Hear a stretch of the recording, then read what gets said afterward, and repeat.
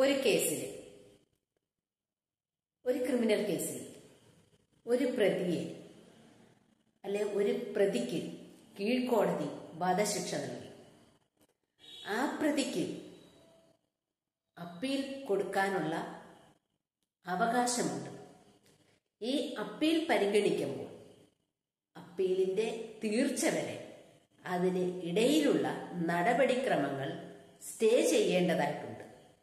ഈ സ്റ്റേ എന്ന് പറയുന്നത് ഒരിക്കലും ആ പ്രതിയെ കുറ്റവിമുക്തനാക്കുകയല്ല. അതാദ്യം മനസ്സിലാക്കണം.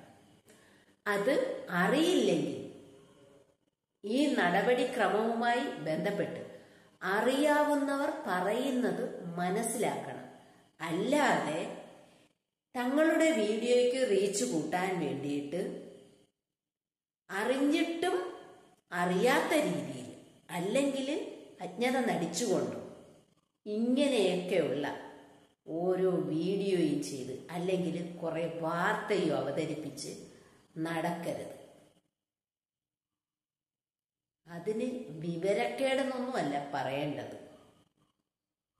ആളുകളെ ഏ? എല്ലാവരും ഇപ്പം നിയമത്തിൽ അങ്ങ് പാണ്ഡിത്യം നേടിയവരൊന്നും ആയിരിക്കണമെന്നല്ല. ഈ സമൂഹത്തിൽ വീണ്ടും വീണ്ടും കുറ്റവാളികളെ സൃഷ്ടിക്കുന്ന രീതിയിൽ കോടതി നടപടികളെ വളച്ചൊടിക്കരുത്. അത്രേ ഇപ്പൊ പറയാനുള്ളൂ.